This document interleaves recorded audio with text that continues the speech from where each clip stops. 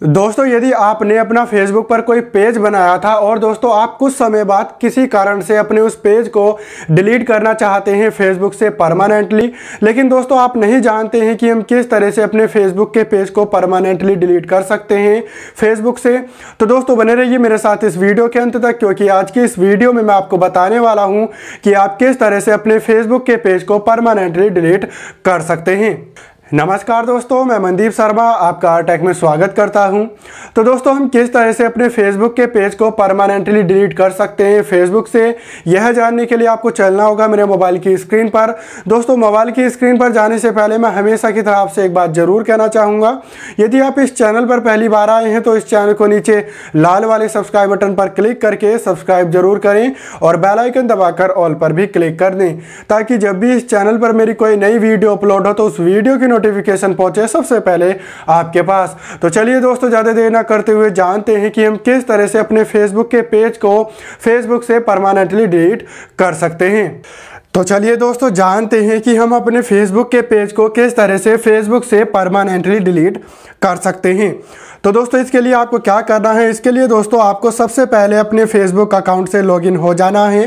दोस्तों, आप अपने फेसबुक अकाउंट को अपने फेसबुक के मेन ऐप में भी लॉगिन कर सकते हैं या फिर दोस्तों, यदि आप अपने फेसबुक को अपने मोबाइल के ब्राउज़र में लॉगिन करते हैं तो आप अपने मोबाइल के ब्राउज़र में भी अपने फेसबुक अकाउंट को लॉगिन कर सकते हैं।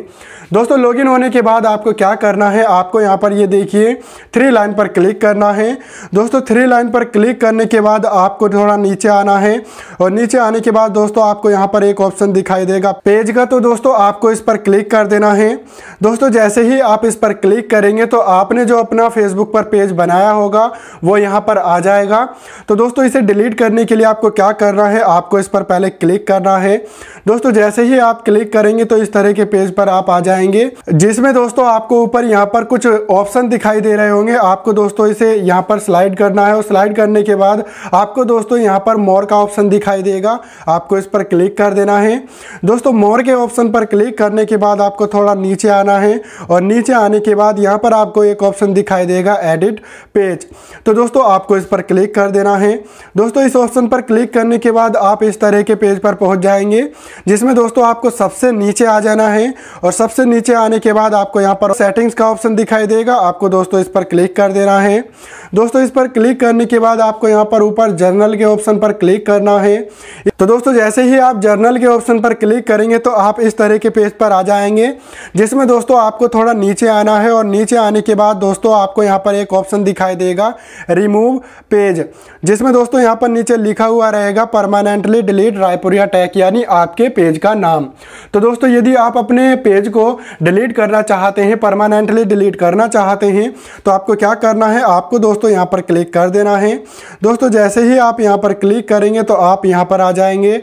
यहाँ पर आने के बाद दोस्तों आपको यहाँ पर ये देखिए डिलीट पेज के ऑप्शन पर क्लिक करना है। दोस्तों जैसे ही आप डिलीट पेज के ऑप्शन पर क्लिक करेंगे तो आपका जो फेसबुक पर पेज था वह डिलीट हो जाएगा। तो दोस्तों मैं आपको दिखा देता हूँ पेज में जाकर। ये देखिए दोस्तों, ये यहाँ से डिलीट हो चुका है। दोस्तों, आपके पेज को डिलीट होने में चौदह दिन लगते हैं। चौदह दिन के अंदर अंदर आपका पेज परमानेंटली डिलीट हो जाता है फेसबुक से। वैसे दोस्तों, यहाँ पर आपको कहीं पर भी आपका पेज नहीं दिखाई देगा, यानी यहाँ से आपका पेज रिमूव हो जाएगा। तो दोस्तों, इसी तरह से आप भी अपने फेसबुक पर बनाए गए पेज को डिलीट कर सकते हैं, यदि आप डिलीट करना चाहते हैं तो। तो दोस्तों, यह वीडियो यहीं पर समाप्त होती है। मैं उम्मीद करता हूँ कि आपको यह वीडियो पसंद आई होगी।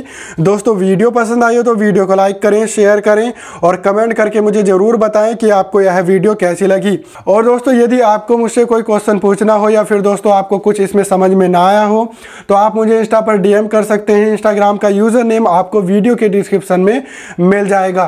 तो चलिए दोस्तों, मिलते हैं अगली वीडियो में। तब तक के लिए धन्यवाद।